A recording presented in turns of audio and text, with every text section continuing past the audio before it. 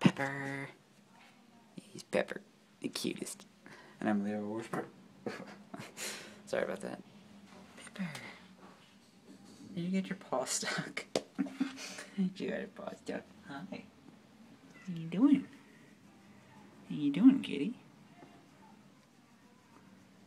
No, she's just so cute. You are just so cute, you know that? You're just a very cute kitty. You're just a very cute kitty. Look at this. Look at this. This is just Pepper relaxing.